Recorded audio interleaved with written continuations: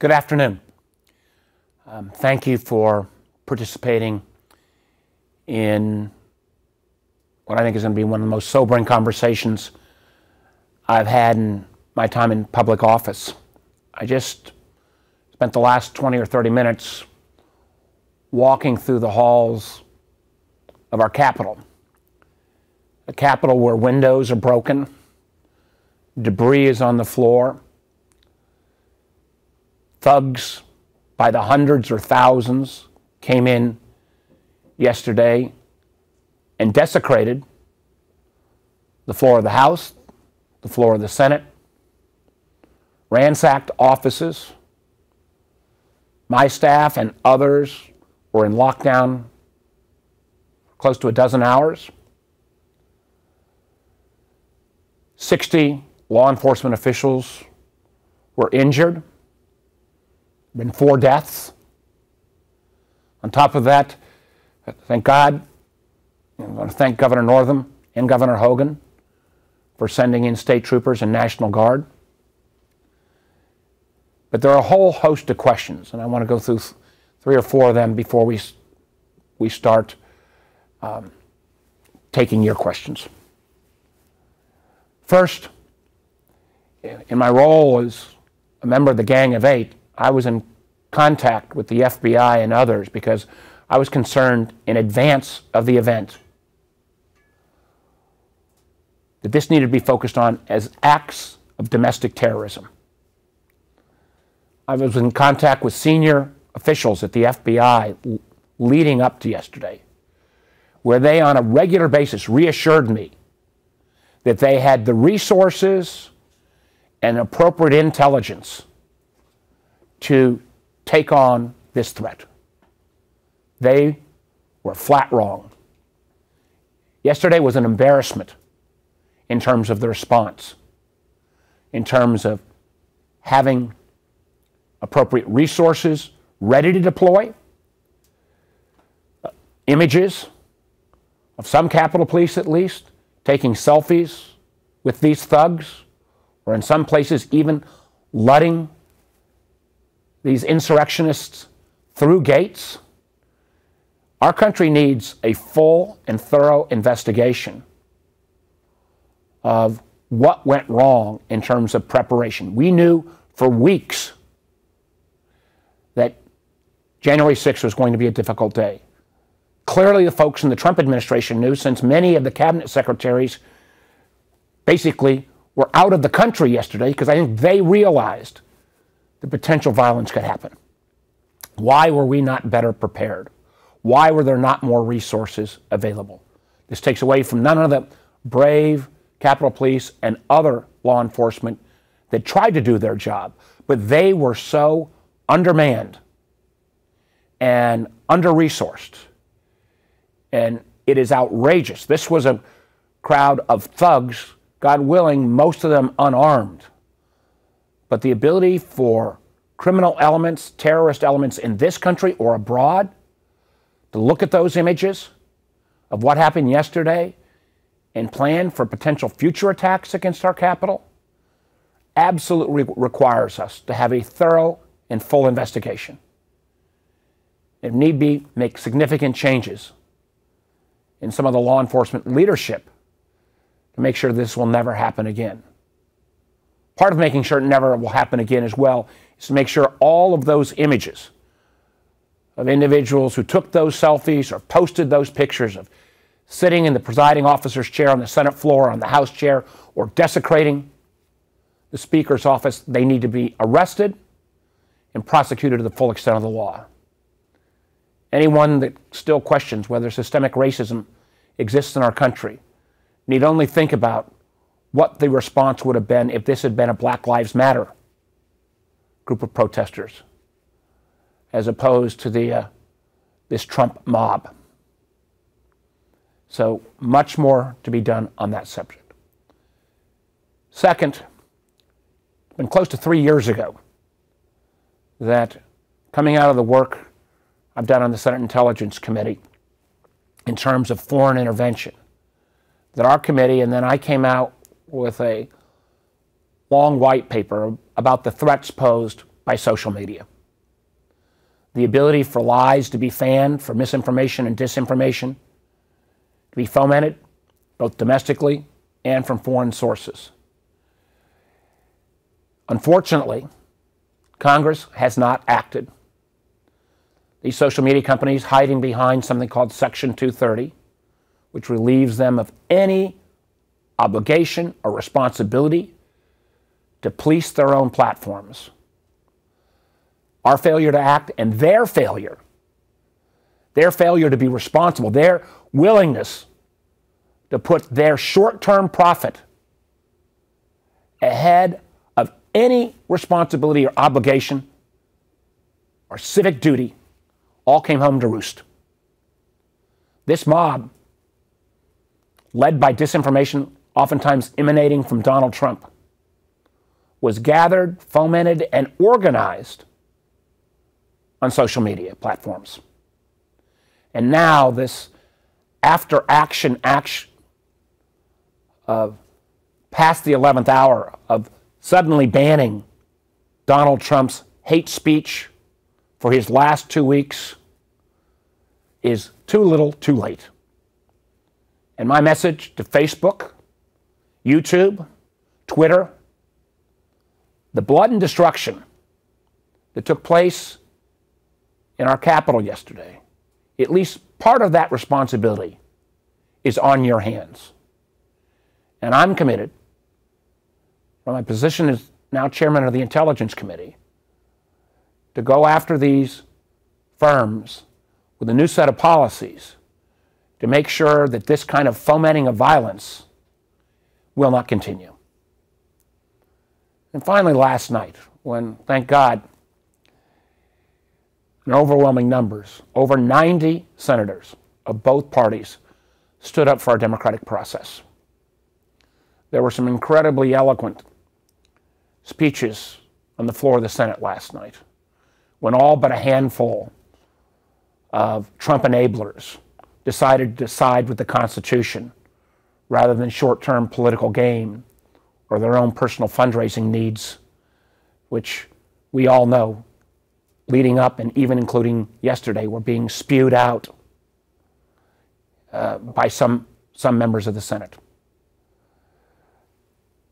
What I spoke about last night was again some of the outcomes of the three and a half year bipartisan Senate investigation into foreign interference in our elections. One of our top recommendations, and again, this came from a unanimous Senate Intelligence Committee, and I'm proud to say all of the members of the Senate Intelligence Committee, Republican and Democrat, stood with the Constitution rather than with the cabal that backed the insurrection. But one of our top recommendations was that any candidate or elected official needs to take a great deal of pause and reflection before they question the integrity of our democratic process, particularly when you question it after there's been recounts, lawsuits, and the process has worked. And the reason why is that our adversaries, Vladimir Putin in Russia, some of the Chinese leadership, the Iranian leadership, we know their goal is to undermine Americans' faith in our democracy, but also to say to their own people there is nothing special about American democracy. So when Vladimir Putin poisons his adversaries, says to Russian people, hey, this is no different than what happens in America. Well, unfortunately, Donald Trump and some of his enablers obviously didn't read that report and didn't read that recommendation. So, what breaks my heart as much as anything was a picture I saw last night on one of the German newspapers, and frankly, it appeared on newspapers, television feeds, and internet postings all over the world. Had a picture of a bunch of these thugs walking through the halls of Congress. Vladimir Putin and our adversaries gained more from those images in terms of strengthening their hand and undermining our democracy than virtually anything that's happened in the last couple of decades. And God, last night, 90 plus senators stood up for the Constitution. But even standing up for the Constitution, don't erase those images. I heard this morning the Syrian government of Assad was attacking American democracy as being hypocritical.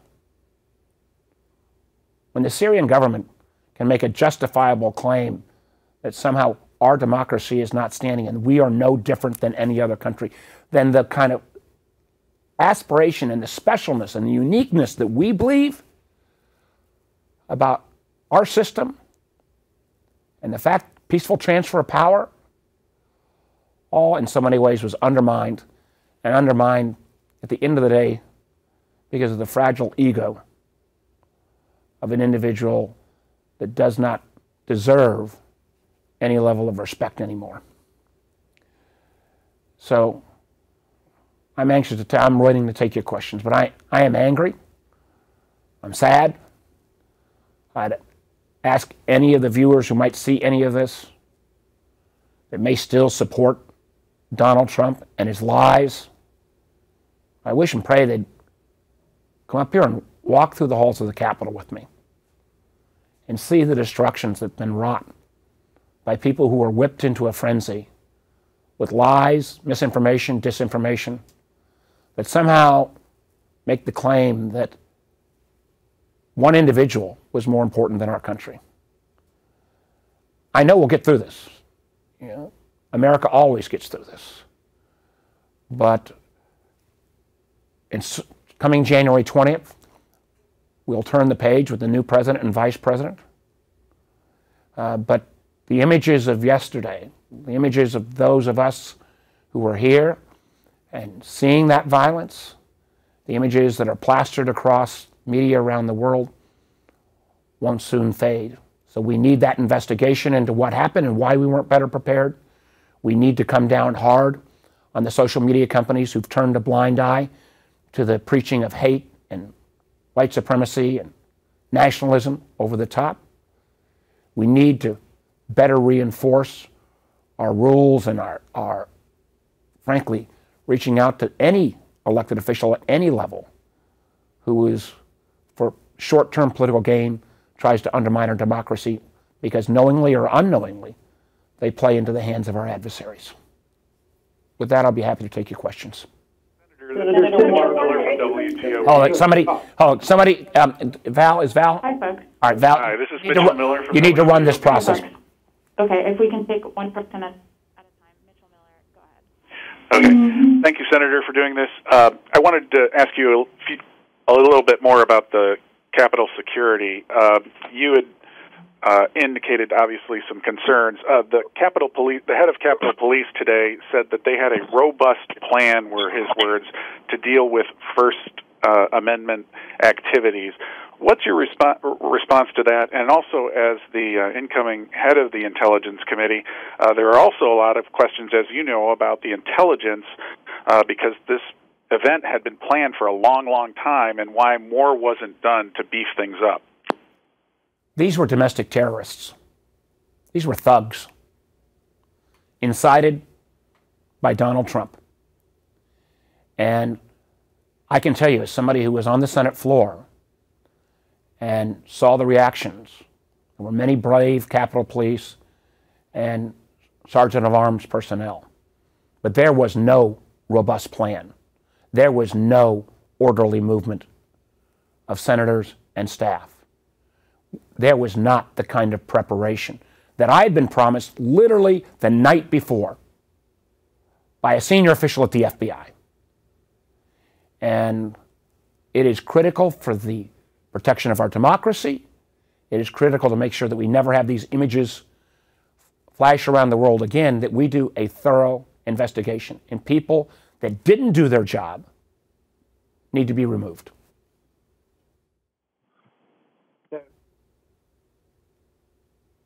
Your, your colleague, uh, Senator Kaine, has expressed support for the uh, invoking the 25th Amendment. Where do you stand on that? And additionally, you mentioned all the senators who um, voted not to go along with this, but some uh, Virginia representatives on the House side did vote. Uh, what, what is your message to them? Twofold. One, let me also, uh, again, I feel like Mayor Bowser's hands were a bit tied by part of the rules that didn't allow her to bring out the National Guard. The fact that it took literally hours and hours on end, part of that may be, have been interfered with by personnel in the White House. In fact, I talked to Governor, Governor Northam, Governor Hogan, the fact that they had the ability to activate um, Guard and, and state troopers. Thank God those resources came here. And the fact, in terms of preparation, um, we had, a, as we, as my Virginia colleagues know, we had a similar type event a year ago in January when Second Amendment rights protesters descended on the city of Richmond in numbers that were at least equal to or potentially greater than what happened in Washington. If the state, if the Commonwealth of Virginia could prepare and make sure that that day of protest kept peaceful, then why in the hell couldn't the United States government, with all our resources, do the same? Because it's not only the members of Congress, but again, I, if you could walk through these halls of our Capitol and see the destruction that took place, you'd, you'd be aghast. 25th Amendment, I absolutely believe it should be on the table. And I've been in contact with members of the Trump cabinet that I have relationships with and urging them to decide how they want to be recorded in history. Whether they want to be enablers, enablers of an individual that even as late as yesterday afternoon or evening with that pathetic video that he put out, we have no assurance that there's any remorse coming out of this White House. We still have 14 days. Uh, so, those members of the Trump cabinet who have any conscience or any sense of obligation to rule of law, I do think it's incumbent upon them to act or to at least resign and not be part of this travesty that's playing out in front of our eyes. Whether that will take place, I'm not sure. Uh, but I can assure you, at least from the where I have some jurisdiction, on the intelligence community side, I'm going to be in, in have been and will continue to be in regular contact with our intelligence leadership to make sure that if Mr. Trump tries to take inappropriate actions, um, that they understand that their first and foremost obligation is to the Constitution and rule of law. Senator, Senator Warner, Christina Thompson with WSET in Lynchburg, Virginia. Um, do you believe that Trump incited the riot? Listen to the words that Donald Trump echo, said on the ellipse. Look at his tweets encouraging people to come for a wild day in D.C. You know, I'm not going to make a legal judgment here. I'll leave that to others. But on any practical basis, there's never been an American leader that's called people to this kind of violence against their duly elected representatives, Democrats, Republicans alike. And, and the, the absolute, the absolute outrageousness of this person's actions to basically encourage this horde of thugs to attack the Capitol when he knew his own vice president was there doing his duty speaks legends uh, about the character of Donald Trump.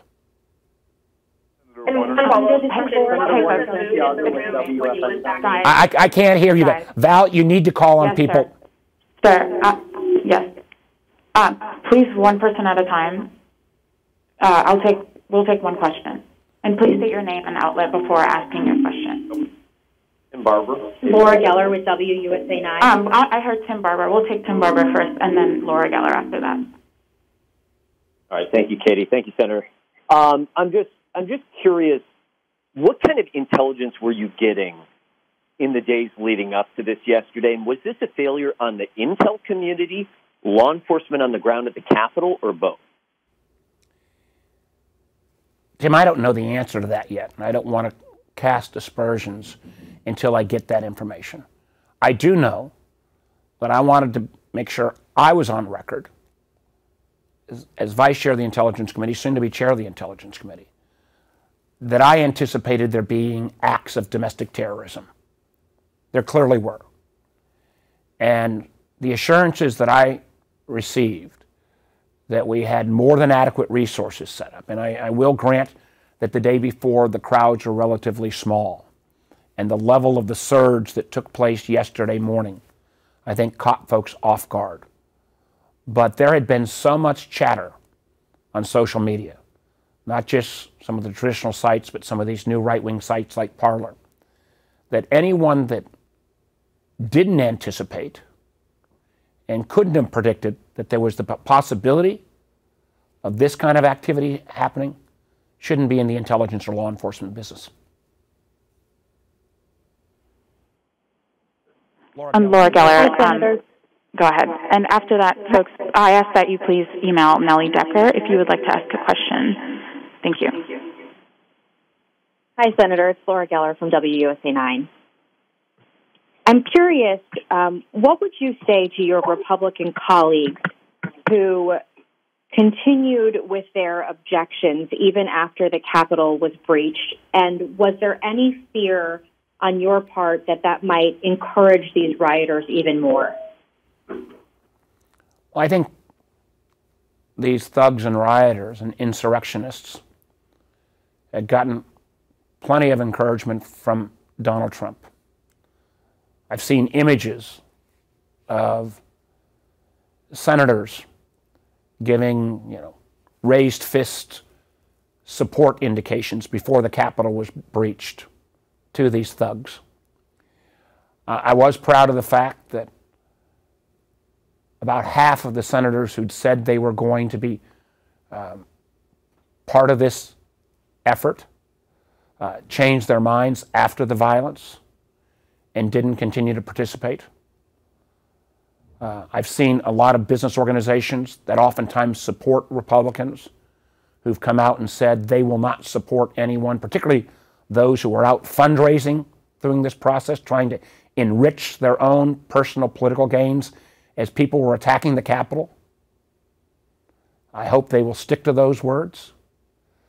Um, many of these folks are going to have to live with their conscience of at least not discouraging these efforts and their kind of self righteous comments on the floor of the Senate afterwards, where they denounced violence, rang hollow to me, and I think rang hollow to the literally probably hundreds of millions of Americans who are watching their television last night.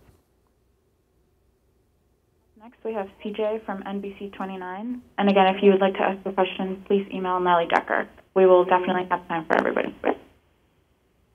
Senator Warner, uh, you touched on the fact that you're seeing these these pictures, these headlines from around the world, and and certainly a lot of these questions that I know you're asking are questions that a lot of Americans are asking in the wake of this.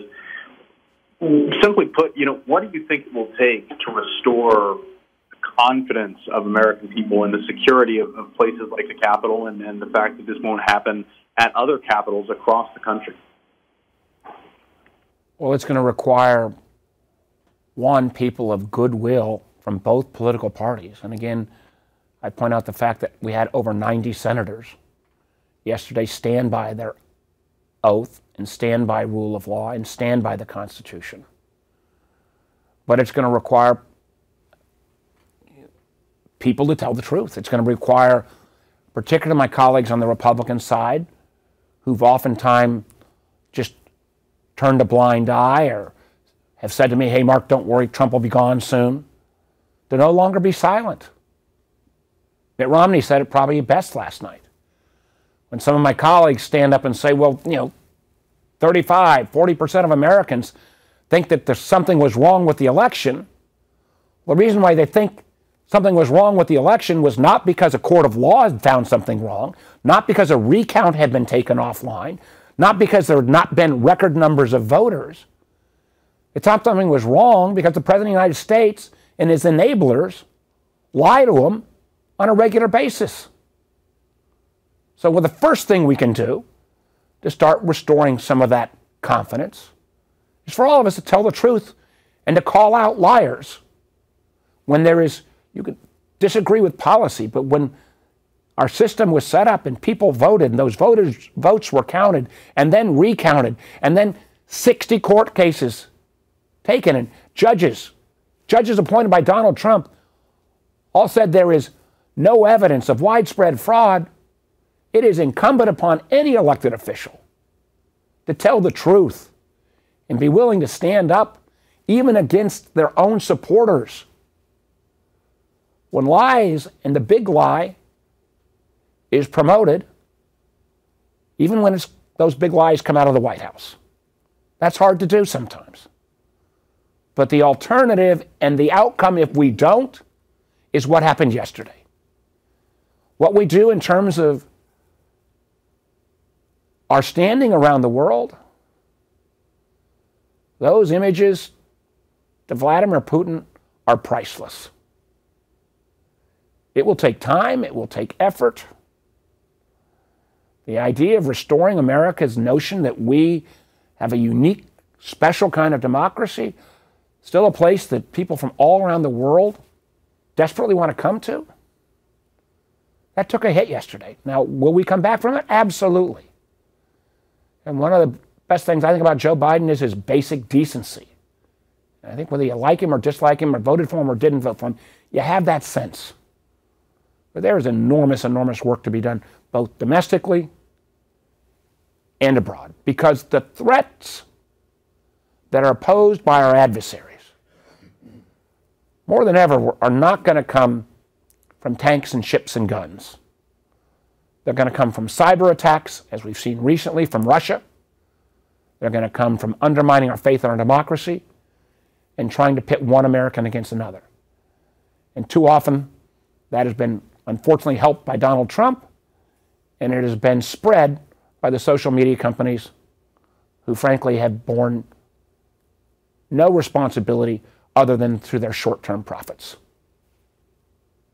Clara from VPM. Thank you, Senator. What are your thoughts on the possibility of Trump running again in 2024 and the potential of his impeachment? Listen, I, if there was as someone who felt that Donald Trump's illegal actions trying to uh, harass and cajole the Ukrainian president. I felt that reached the level of an impeachable offense.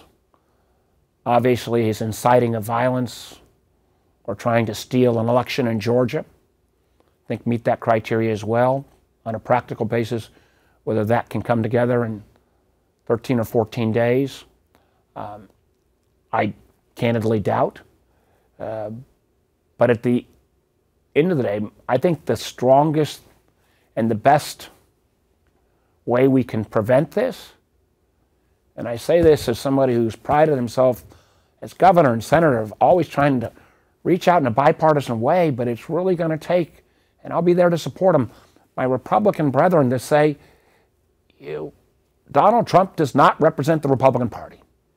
He represents the fringe extreme that's willing to always put himself ahead of our own country's interests. And I think at the end of the day, expunging him from the Republican Party is frankly in the best interest of the Republican Party and the best interest of the United States of America. Up next, we have Joe Thomas.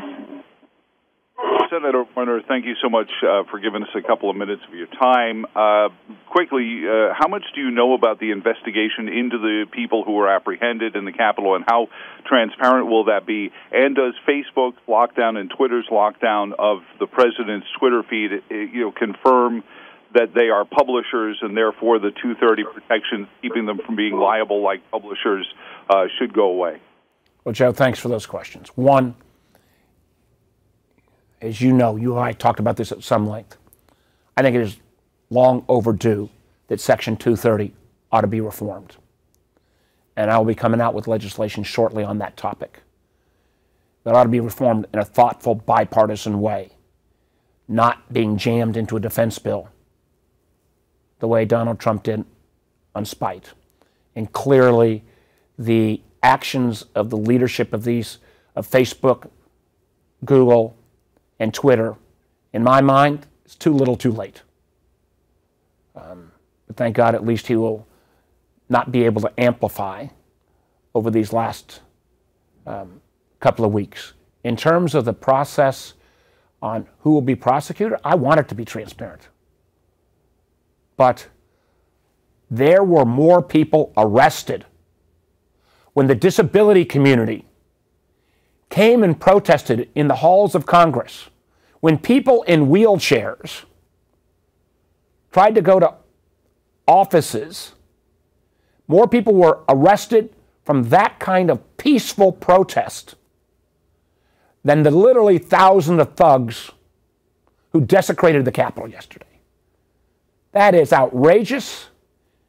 And if those individuals who pride themselves of posting their own images aren't arrested, then respect for rule of law in this country will be undermined permanently. And I can tell you this much, Joe.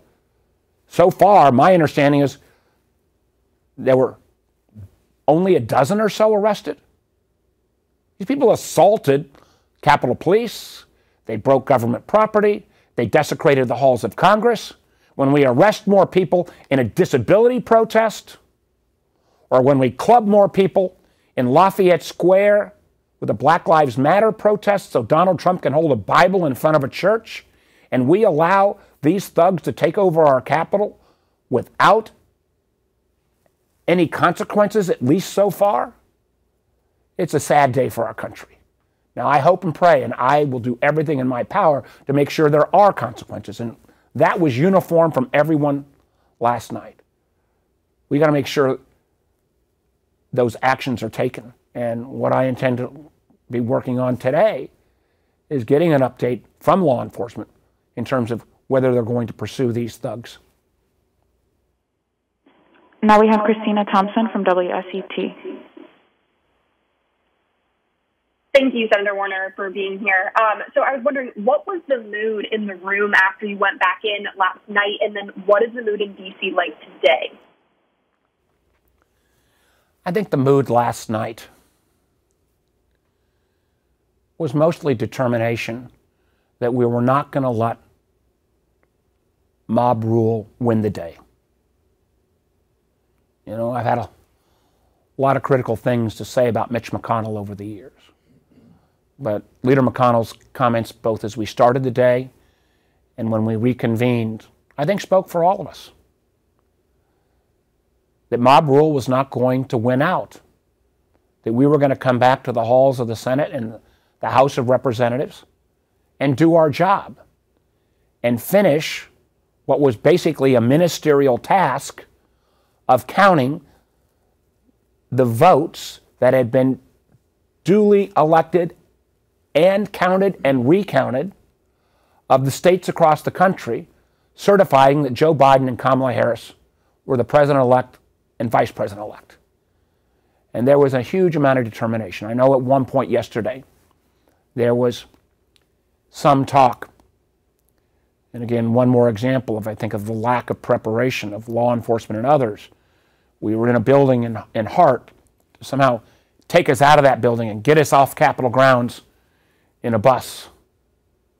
And to a person, Democrat and Republican alike, we said there was no way we were going to run high, you know, run and leave the Capitol because a bunch of thugs had taken over the building. We were going to stay there and do our job no matter how long it took. Now we have Maria Roberts from WCYB. Hi, Senator.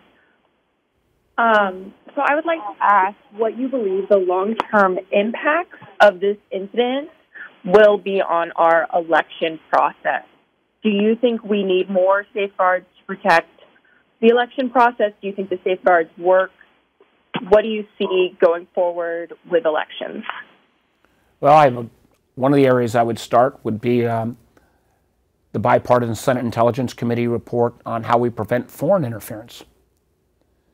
I hope and pray that people would take to heart our recommendation that candidates and elected officials shouldn't be cavalierly you know, undermining the integrity of our elections. Remember, Donald Trump, days before the election, said if he didn't win, then the election must be rigged.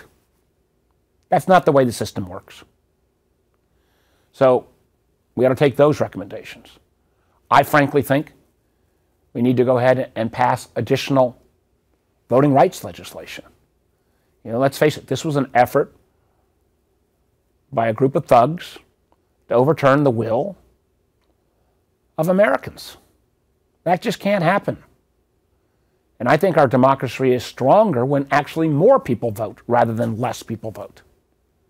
So if there are additional activities there, and there's legislation I think already in the House, I believe it's called the John Lewis Act, uh, we, ought to, we ought to take up that legislation and pass it. And if there is more clarity in terms of early voting, I think we, we did early voting in Virginia this year, first time in the midst of a pandemic. And I think it was a remarkable success. Just can't imagine, though. I'm old enough to remember when we passed motor voter legislation in a broadly bipartisan way back in the 90s, which made it easier to register to vote. I don't understand any elected official of either party who would believe that somehow we ought to restrict voting rights. Yes, do we need to make sure people are of age and legal? Absolutely. But in so many ways, all those questions were raised. They were raised in 60 plus lawsuits and in dozens of recounts. And I argue the, the system came out looking remarkably fraud free. And I'd also point out, you know, don't have to take my word for it. Take Chris Krebs, who was the director of CISA, cybersecurity agency that worked with all of our secretaries of state and voter registrars around the country, who said these were the safest and most secure elections in our history. And for telling the truth, he got fired. Or take somebody again that I don't agree with very often, Bill Barr, who's more often acted as Donald Trump's personal lawyer rather than attorney general who said on his way out of leaving the position, the Justice Department, the Donald Trump Justice Department, had reviewed all of these claims and there was no serious claim. So, are there ways to improve? I'm sure there are.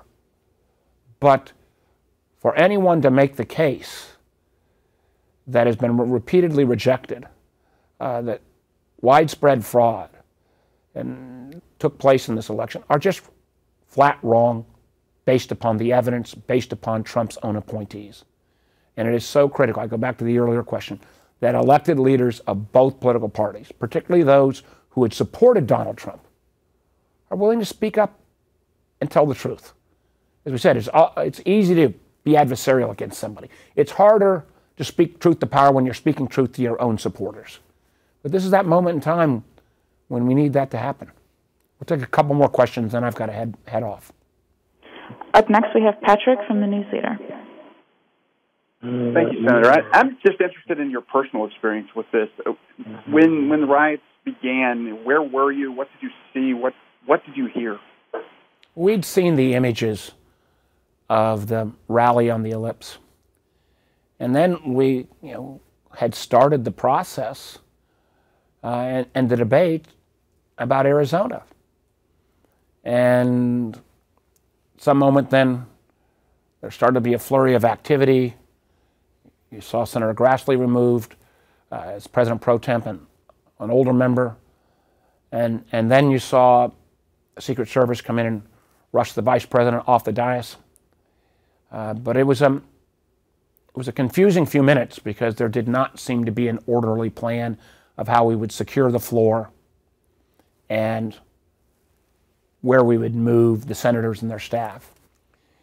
You know, in, in many ways, the closest thing I can, I can remember two things that were somewhat similar. One, you know, when I was governor, and the kind of insecurity so many people felt during the sniper episodes. And how it was so incumbent on me and I law enforcement to, you know, try to give people some sense of security. The other was honestly 9/11 when I was a candidate for governor and and my headquarters was a mile from the Pentagon and we saw the smoke billowing out of the Pentagon. And um, you know, I had to try to reassure so many of my my young staff who were just um, that they're going to be all right.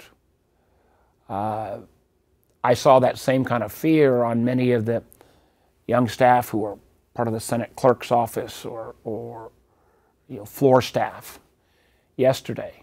And you know, while there was, I don't think many of the senators felt immediate fear on the floor, but there wasn't that sense of calm and that there was an orderly process in front of us that I think we all would have hoped. Up next, we have Santiago from WFXR. Hi, Senator. Thank you. Um, my question is uh, regarding the Virginia congressman who, after the riots, still uh, continued their support for challenging the Electoral College certification. What is your message to uh, those congressmen, people like uh, Bob Good, Ben Cline? So I'm not going to speak to individual congressmen. Everyone has to live with the outcome and the consequences of their efforts. And any who feel that this feeble protest, this feeble effort, which, you know, again, quoting Senator McConnell, when he said to those senators who are part of this uh, effort to contest these states, he said it pretty damn clearly. You know, you get the idea here that you get a free vote to appeal to people because you know there's not going to be consequences because the balance of the Republican Party is going to do the right thing and stand by the Constitution. So, those members who thought they were getting a free vote to appeal to the so called base, there was nothing free about that vote yesterday. And I wish and pray that they would go walk the halls of Congress and see the destruction, or think about the four dead, or the 60 police officers who've been wounded, or the images that are appearing in newspapers and televisions all around the world that help our adversaries. There was nothing free about their vote yesterday to try to undermine the Constitution. And now for our last question um, from Matt at ARL Now. Oh, Senator, uh, should residents in the region have concerns about similar incidents during or on Inauguration Day? And what can law enforcement and residents in those close by localities, Fairfax, Arlington, and Alexandria, do to prepare for that day? Listen, I, as somebody who lives in the region, um, you know, I, I think it's a f- absolutely fair question. You know, if we have to be prepared to go into lockdown anytime there's a presidential inauguration or a major debate on the floors of Congress, that's not the kind of country we are. So we need, number one, a better plan from law enforcement about what's going to happen on inaugural day. Number two, if we see the same kind of chatter from these domestic terrorists, we need to have intelligence penetration to make sure that we're better informed. And three, we need responsible leadership from both political parties to tell their most fervent supporters that violence on Inauguration Day is not only counter to who we are as Americans, be one more example of playing completely into the hands of our adversaries. Um, again, I pray that it will not take place. I don't know how anyone, even those who I think were so misguided on trying to undermine the integrity of this election, if they were to be willing to call forward um, violent supporters again on Inauguration Day, there's got to be consequences. You know, I, I, can't, I know we've gone a lot longer than I, I anticipated today. Um, I have a lot of memories you know, from my time in public office as senator and even more vivid ones from governor. I think about the, the sniper or Hurricane Isabel and the aftermath. Um, you know, the message, part of our responsibility as well is to make sure that we give hope to Virginians and Americans. You know, I have enormous confidence we'll get through this. I was proud of the Senate last night when over 90 senators, and as you pointed out, many who thought they were going to be part of this failed effort, but realized if they were still part of it, they were basically embracing the insurrection. But we've got a lot of work to do. We've got a lot of work to do to restore our image around the world. We've got a lot of work to do to restore the faith and confidence of Americans, whether they supported Joe Biden or Donald Trump, that their elected officials are more about protecting the Constitution and the law than political self aggrandizement. We've got a lot of work to do in the Senate and in the House to try to recognize we do have a lot of things in common. You know, think about how I started yesterday. You know, I was obviously happy about the results in Georgia, but I was also have been reflecting about how much we had gotten done as a Congress in an overwhelmingly bipartisan way over the last few weeks. Took us a while, but I was very proud of the fact that I was one of the architects of the COVID relief bill. Nearly a trillion dollars of needed relief to Americans who are hurting. Overwhelmingly bipartisan. Over 90 senators supported. Proud of the fact that, again, close to 90% of the Congress as well overrode the president's wacky veto of the defense bill, where we said jointly that we're going to stand up for our troops and our country's defense.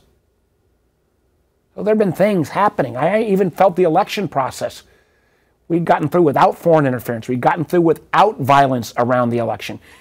Americans had turned out in record numbers for both candidates. And then the system of recounts and appeal to the courts had worked. So we need to remember those messages, but it will take a while for us. Take a while for me. It'll take a while for most Americans and Virginians, you know, to erase those images of thugs overwhelming the capital of the United States. But we will get through it. We will endure. We live in the greatest country in the world. And God willing, brighter days ahead. Thank you.